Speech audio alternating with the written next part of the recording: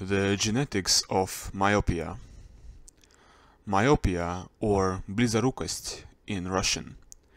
In Russian, if we translate the name directly, it means the ability to see only within the reach of one's hand. Myopia is the most common medical condition of the eyes. According to the American Optometric Association, more than 40% of Americans are myopic, a number that is rapidly rising, especially among school-aged children. Nearsightedness happens when your eyeball grows too long from front to back and when there are problems with the shape of your cornea.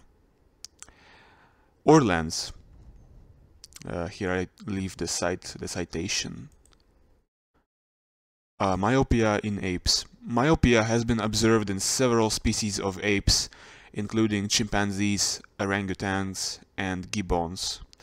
In some cases, myopia in apes may be related to captivity and the lack of access to natural environments and stimuli.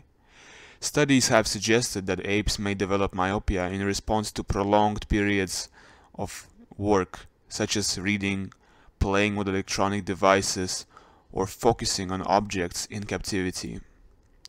Similar to humans, myopia in apes is characterized by elongation of the eyeball, resulting in difficulty seeing distant objects. Some researchers have suggested that myopia in apes may provide insight into the evolutionary origins of the condition in humans. Now let's get into the topic of the video. The genetic variants that contribute to myopia. The source is uh, from this guy Pirro Hysi. Uh, I included a picture of him here. 2020 uh, study. Uh, this is a study that is very large.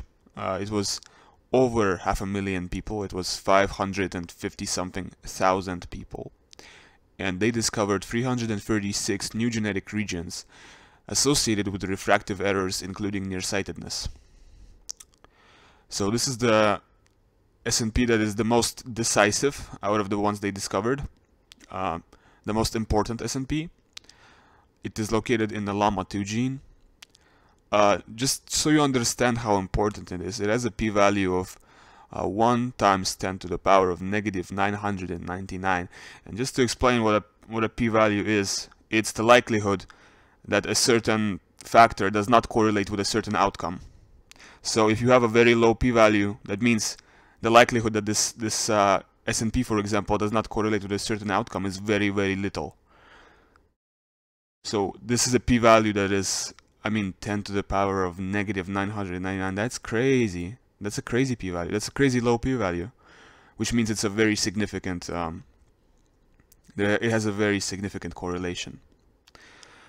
So the G allele here prevents myopia, and you can see the ethnic distribution that I included here. Asians, uh, Oceanians, they don't really have the G allele. African Americans have it a little bit, uh, 1%. South Asians have it a little bit. Estonians and Europeans in general have the most uh, percentage for the G allele, which prevents myopia. Uh, here I did a little bit of work on my own. Uh, using the Hardy-Weinberg formula, I estimated the genotype frequencies for multiple ethnicities. So Asians and Oceanians, the genotype frequencies would be 100% AA. For African Americans, it's a little bit more spread out, but none of them really have GG. And for like Estonians, you can see here, uh, it's almost 1% that have GG. Yeah. Uh, and it's interesting, you would think that with myopia, you would think with myopia, uh, the rare variants would be the ones that cause it. But no, it seems that the rare variants are the ones that protect you against it. Protect you from it. At least uh, the most important one, at least uh, this variation. Uh, I included another variation which is also very uh, quite um, quite important. Uh, it's located on the 15th chromosome. LAMA2, this is located on the 3rd chromosome, but this one is located on the 15th chromosome. Uh, the A allele increases the likelihood of myopia, and it's kind of most common in Native Americans and Africans and South Asians, and it's least common among Ashkenazi Jews, but it's um, it's just there isn't really an ethnic correlation that you can draw here that you could say like Asians are the most myopic or white people are the least myopic. There's not something you can, it's not a correlation you can make. Uh, from examining some of the allele, allele, frequencies of the most important SNPs in the study, Uh, I have not noticed any ethnic trends, although statistically, East Asians are the most likely to suffer from myopia. Here I'm showing some of the SNPs in the study and their contributions. Um, this is actually your genotype with estimated accuracy, the second column here. This is actually my like my genotype. Um, you know, just it's just so much work writing down all of these 336 SNPs. I did not want to do this. I just took a screenshot, right? So I took a shortcut. Um, so you, you look at the first one, A, this this is the one that uh, raises the likelihood of myopia, for example, if you have two A alleles here. And the G would be lowering the likelihood of myopia.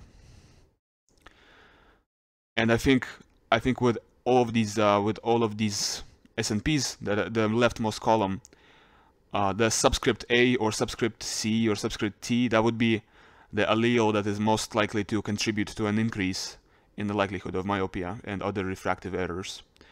Uh, you can search through these SNPs on your own in your file, but I gotta tell you, I don't think any of these will be in your file. You need to um, you need to extend your DNA file. You need to impute it in order to see these SNPs. So, good luck finding any of these in your file. But if you have if you have a whole genome sequencing, go ahead. This will be useful for you. Uh, so this is part two. And I did not want to include like seven different screenshots for the whole list because after this, uh, they are not really significant. They are not really significant or important.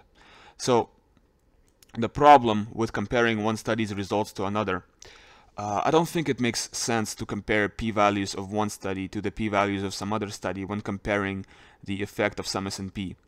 The study I am citing in this video has insanely low p-values because it sampled over half a million people, not because there is super strong correlation between any of these SNPs and the likelihood of myopia.